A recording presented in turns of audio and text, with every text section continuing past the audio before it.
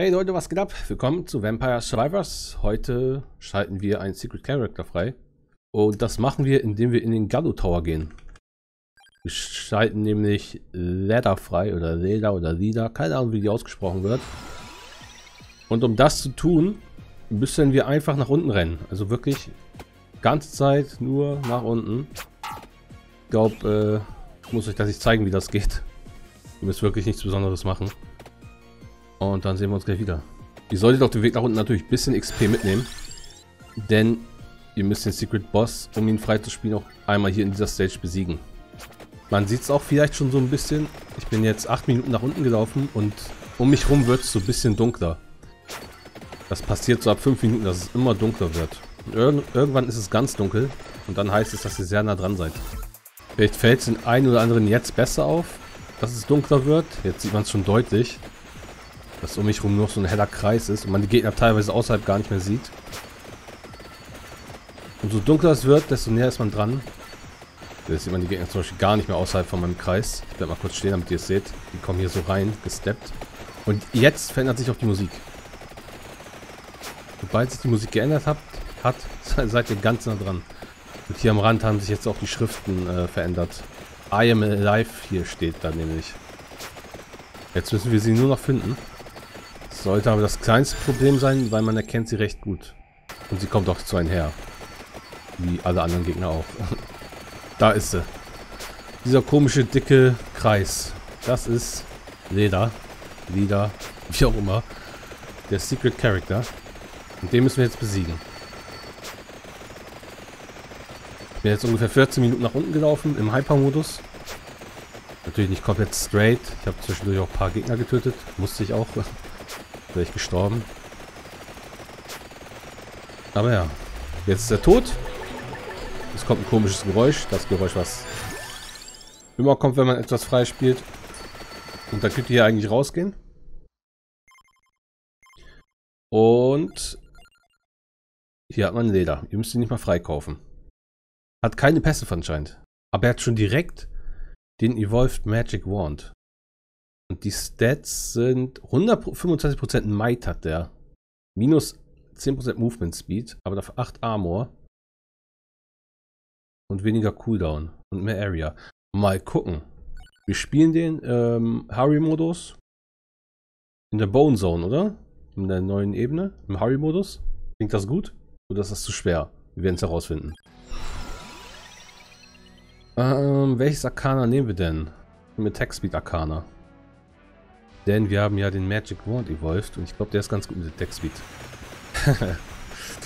ja. Katzen? Nee. Reroll. Banish. Cross. Pentagon mache ich nicht. Reroll. Was will ich gehen, Leute, ist die Frage, ne? Ich weiß es gerade nicht. Also, Magic Wand direkt am Anfang zu haben, ist schon äh, krass OP. Nehme ich an glaube, wir werden erstmal in den ersten 10 Minuten keine Probleme haben. Das Game geht ja nur 15 Minuten im Harry-Modus. Der macht auch 66 Schaden. So normalerweise machen Waffen irgendwie 5 oder 10 Schaden gefühlt. Also wir können ja echt erstmal stehen bleiben. Selbst im Hurry- und äh, Hyper-Modus. Aber ich will nicht stehen bleiben. Die Sachen sammeln. Meint ihr, man kann nur mit Magic Wand gewinnen? Nee, ne?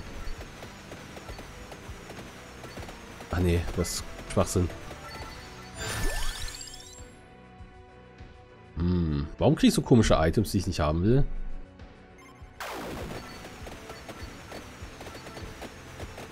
Oder kann man Magic Wand gewinnen? Only? Meine, später wird es ja schwer. Deswegen glaube ich eher nicht. Aber wenn man so einen OP-Charakter hat, da bin ich schon wieder unsicher. Noch mehr Attack Speed. Let's go. Keine Ahnung, ob das noch was bringt. Wie hoch das alles steckt. Aber einfach mal ausprobieren. Äh, ey, ich will doch einfach nur eine neue Waffe. Ich krieg nicht mal eine Waffe. Also keine Waffe, die ich haben will. Nice wollte ich zum Beispiel nicht. Und da ist der Boss. Der sollte aber ganz schnell tot sein. Ja. Easy. Doch nie so einfach ein Boss besiegt. Damage, 10% mehr. Let's go. Haben ja noch nicht genug. Hm. Ja. Habt ihr überhaupt andere Waffen? Ja doch, ich habe schon Knife gesehen. Und Cross habe ich ja gebanished. Und Center Water habe ich gesehen. Aber warum kriege ich immer das äh, gefühlt? Erstmal hier halben Voice Crack kriegen vor Aufregung. Banish Clock. Ich glaube, die Lanze habe ich noch nie gespielt. Das finde ich irgendwie total uninteressant. Immer dasselbe. Lack brauche ich nicht. Das ist der nächste Boss, aber der wird auch ganz schnell tot sein. So, zack. Geld, weil wir alles auf Max-Level haben. wir sollten jetzt was Neues kriegen. Nee, Bracer und Spinat war gar nicht auf Max-Level. Ey, was soll das denn hier? Reroll, komm. Nicht Bibel. Wenn wir schon das Speed-Dings haben. Speed-Arcana. will jetzt nicht nur mit einer Waffe rumlaufen ganze Zeit. Auch wenn ich es noch aushalten kann. Easy. Weil das alles one-shottet. Ja, jetzt kriege ich hier die Waffen, aber auch nicht die, die ich haben will. In dieser Stage gibt es keinen Schicken. Darf also nicht so viel unnötig Schaden kriegen. Ach stimmt, wir haben ja 125% Might, oder? Das war das? Ja, wir machen ja voll viel Schaden. Generell, auch mit den Bibeln. Das liegt ja jetzt nicht nur am Magic Wand, dass er evolved ist, sondern der Charakter macht ja mit allem einfach viel Schaden. Oh mein Gott, stellt euch wieder, ihr habt einfach Early Garlic. Habt ihr gewonnen. Hey, warte mal, wenn Garlic auch so viel Schaden macht, dann ist es ja ein No-Brainer, dieser Charakter, oder nicht? Da muss man ja gar nichts machen. Ich muss ja jetzt schon gar nichts machen, gefühlt. Okay, ich verliere ein bisschen Leben, aber das ist okay. Kommt mir gar nicht so vor, als wenn das Sorry-Modus ist, bin ich ehrlich. Ist schon die Hälfte rum. Ah ne, ist gar nicht die Hälfte rum. Ich vergesse immer, dass es sich also ich vergesse immer, dass es ein doppelter Zeit tickt. Ich denke immer, die Zeit tickt ganz normal, weil ich da halt auch nicht rauf gucke. Also die Hälfte ist wirklich um, wenn da 15 Minuten steht und nicht 8.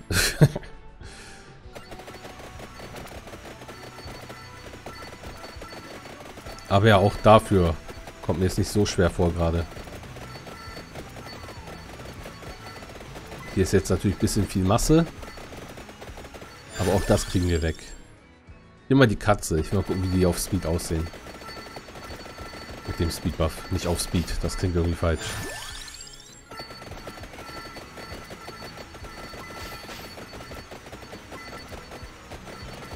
Können die sich eigentlich fetzen?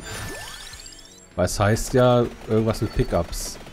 Dass sie damit interagieren und dann ihren Kram machen. Ah, das ist wieder der grüne Tod. Der soll mal ganz schnell weggehen. Mit seinen komischen grünen Anhängseln auch. Ah, geh weg. Der ist voll schnell. Die sind halt so langsam, da musst du echt aufpassen. Der kann uns halt easy kriegen, wenn wir nicht aufpassen. Oh mein Gott. Hilfe.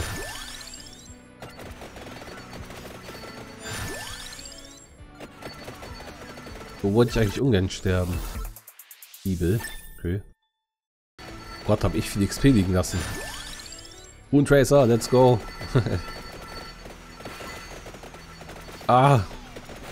Er will mich. Ich ihn aber nicht, bitte. So, er ist weg. Wieder freie Bahn. kann wieder ein bisschen rumstehen und im Kreis laufen, ohne Angst haben zu müssen. Wir haben ja im letzten Part dieses Stage gespielt und am Ende wurde es echt voll und wir haben nicht mal im Hurry-Modus gespielt. Deswegen bin ich echt gespannt, wie das gleich aussieht hier am Ende. Ah, diese Schüsse, die können mich mal. Die kommen eh nicht an durch unsere Bibel. Kerzenständer auch gut. Da fetzen sich unsere Katzen. Bleiben wir hier erstmal ein bisschen drin stehen. Sollte ja passen. Ja, oder auch nicht. Randomazzo. Was nehmen wir? Nein. Nee. Vielleicht. Nee. Wir nehmen das. Weil ich glaube, wir sterben nicht. Aber wenn wir sterben, ist gut. Das finde ich halt langweilig. Weil wir können kritten. Mit Whip. Nee. Komm, nehmen wir auf die Duration. Boah, das bringt halt nichts. Duration bringt halt gar nichts. Wir nehmen auf das. Der Rest bringt gefühlt nichts. Okay, für Rune Tracer hat es vielleicht was gebracht, oder? Ach, und für unsere Bibel. Aber wenn die Bibel evolved ist, ist sie eh dauerhaft da. Hm. Schwierig. Oh Gott, dieser Speed. Kreissäge, let's go. Die Speed Randometsu ist echt cool. Will ich Axe evolven? Also will ich Axe spielen? Nö. Ich weiß aber auch nicht, was ich stattdessen spielen soll, bin ich ehrlich.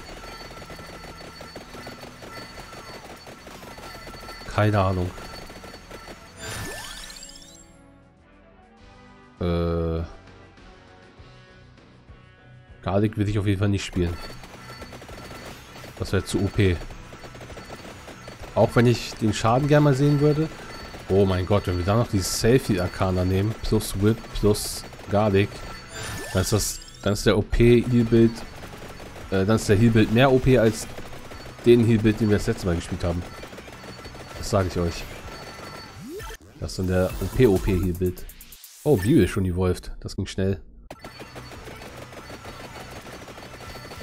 Die sind so schnell, man sieht die kaum.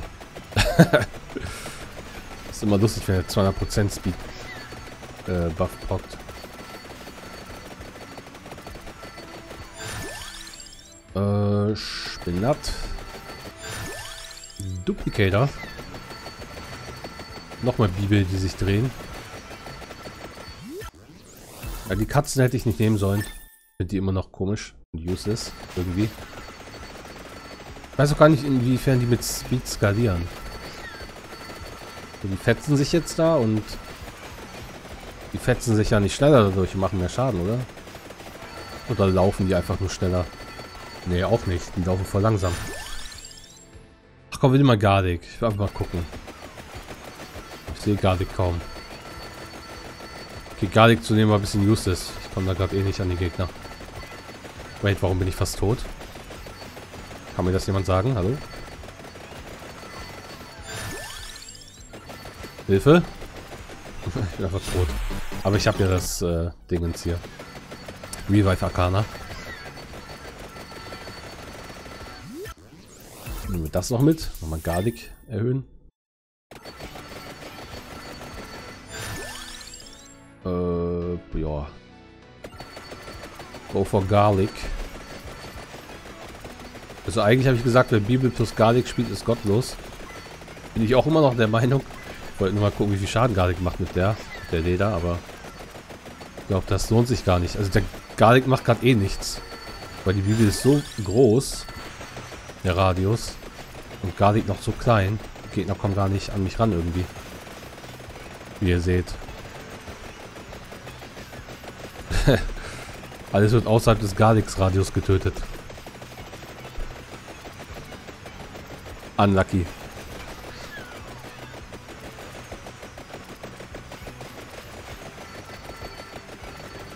Selbst wenn ich zu den Gegnern hinrenne, klappt es nicht. Und ich würde gar nicht erkennen, wie viel Schaden das macht. So, Garlic, Heal, Whip.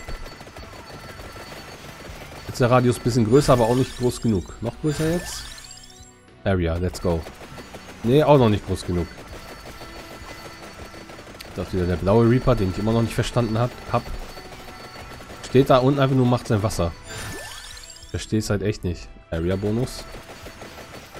Erhöht natürlich auch die Bibel, den Bibelradius, deswegen kommt Garlic immer noch nicht an. Alles niedermähen. Aber auch nur, wenn wir ganz schnell äh, unseren Pock haben. Nochmal Radius. Kein Radius für Garlic. Ja, drei Minuten noch. Ach, vier Minuten noch. Und bis jetzt muss ich sagen... Oh, Area. Aber auch noch nicht groß genug, oder? Nee, ist mega schwer. Mit Garlic an den Gegner zu kommen. Naja. Ich muss sagen, noch sehe ich nicht viel von der Schwierigkeit, die wir im letzten Part hatten. Weil der Charakter, glaube ich, einfach zu OP ist. Und wir spielen ja gerade quasi mit einer Waffe weniger, weil Garlic ist noch useless. Meiner Sicht hier auf jeden Fall. Keine Ahnung. Kann auch sein, dass Garlic Schaden macht. Aber das sehen wir ja eh im Endscreen, wie Schaden Garlic gemacht hat. Jetzt macht es ein bisschen Schaden. Weil die Gegner nicht mehr One-Hit sind. Und die roten Gegner eh aufstehen. Macht 42, glaube ich. Kann mich aber auch verguckt haben.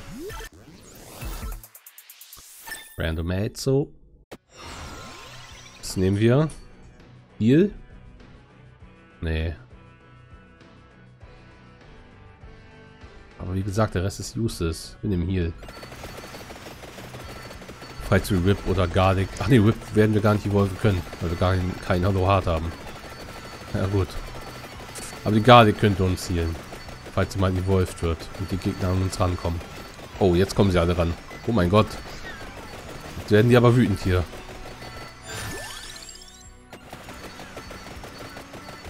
Muss ich mal ganz schnell den Radius erhöhen. Randomatsu macht auch seinen Job. Ach, nicht Randomatsu. Tracer. Was glaubt ihr? Hat Garlic Schaden gemacht? Ich glaube eher nicht. Also ein bisschen Schaden schon, aber nicht viel. Ah, zwei Minuten noch. Ich kann halt auch nicht einschätzen, ob hier gerade richtig viel los ist. Dafür, dass es Harry-Modus ist. Oh doch, jetzt kann ich sagen. ja, das war viel. Aber auch das machen wir easy weg. Wir haben gar keine Probleme. Oh, die Katzen sind voll groß. Sehe ich jetzt erst. Und ich glaube, wir hätten gleich Garlic Evolve.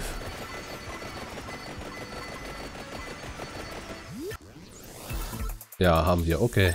Gucken, ob wir geheilt werden. Ah, jetzt der Radius so groß wie die Bibel. Nice. Wir werden geheilt. Warte, wenn wir uns healen, machen wir die Hälfte von dem, was wir geheilt haben, an Schaden an den Gegnern. Die um uns, um uns sind. Da stackt das mit der Stärke, die wir haben. Wobei 125% von 2 Damage sind jetzt auch nicht so viel. ah, ignoriert meine Frage. Wir machen vielleicht 10 Damage oder so, statt 4.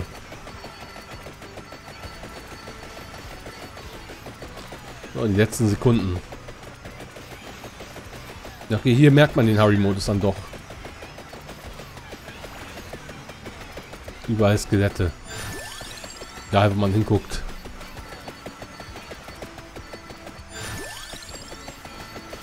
Ich habe nicht mal alle Fähigkeiten auf Max-Level. Jetzt. Gerade noch geschafft. ah. Ich habe noch meine ganzen Revives. Bip, bip, bip, bip, bip, bip, bip. Jetzt geschafft. Alles Max-Level noch gekriegt. ah, letzter Revive, glaube ich.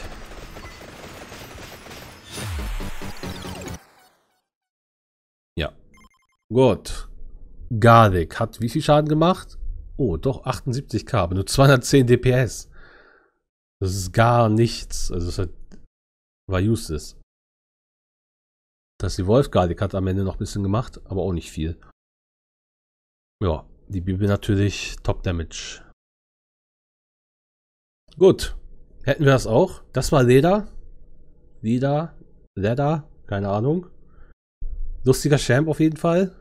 Beziehungsweise Charakter.